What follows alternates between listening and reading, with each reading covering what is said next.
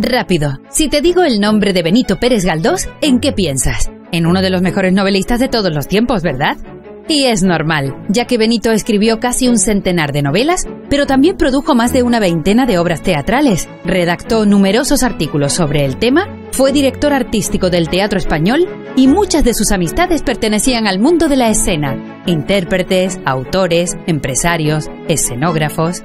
Pero vayamos un poco más atrás. Galdós se interesó por el teatro a lo largo de toda su vida. En sus inicios canarios vive y participa de la cultura escénica de la isla, asiste a los estrenos que se producen, acude a la sesión declamatoria que organizaba el gabinete literario en Las Palmas y escribe y estrena en el jardín privado de unos amigos de la familia su primera obra dramática, Quien mal hace, bien no espere, escrita en verso de tema histórico y en línea con el posromanticismo vigente en la época.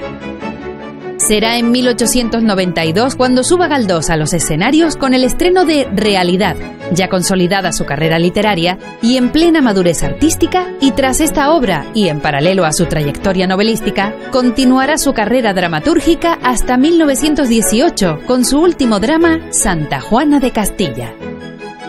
Entendió el escritor que el teatro le ofrecía la oportunidad de exponer con autenticidad sentimiento y pensamiento, Así lo demuestran títulos como La de San Quintín, Los Condenados, La Fiera, Alma y Vida, Amor y Ciencia, Casandra, Alceste, Sor Simona, en los que el autor reflejará y condensará, mediante la agilidad de los diálogos y la contundencia de los personajes, los temas que le son característicos, la lucha contra la intransigencia, los fanatismos, la hipocresía, el abuso de poder, así como la tolerancia, la esperanza y el amor como elementos redentores,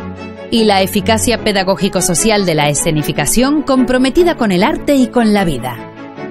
Los escenarios suponían un espacio idóneo para el ocio y el recreo, pero también lo eran para la difusión directa de las ideas, y de este modo, Galdós propone un teatro que refleja la sociedad del momento y en el que se representan los distintos conflictos humanos, las diferencias sociales, el aliciente de la voluntad, las discrepancias ideológicas, el poder del amor, y en el que los personajes, superando su carácter prototípico, revelan ahora las complejidades y contradicciones del individuo. Mención destacada merece Electra, estrenada en 1901 y que supuso un hito en la producción teatral galdosiana. En ella, el autor presenta muchas de sus preocupaciones como el amor a la verdad, el rechazo a la violencia o la lucha contra el fanatismo y la superstición, entre otros, con la intención de impulsar una transformación social sustentada en la ciencia, el progreso y la justicia.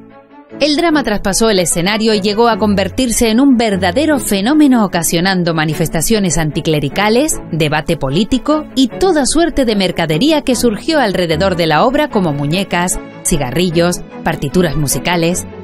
Desde su exitoso estreno, su celebridad se extendería por todo el territorio nacional, europeo y transatlántico, representándose en ciudades como París, Roma, Lima, Caracas o Buenos Aires.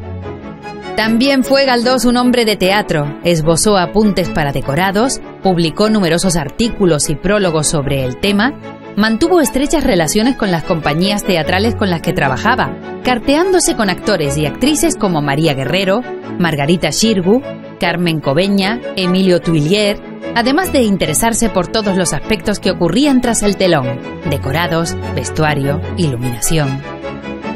En el teatro, al igual que en la novela, buscará Galdós la verdad y autenticidad, renovando la escena de su tiempo y eligiendo la expresión dramática como la manifestación artística más directa para comunicarse con el público. Una vez más, su manera teatral viene a confirmar la genialidad de su quehacer literario.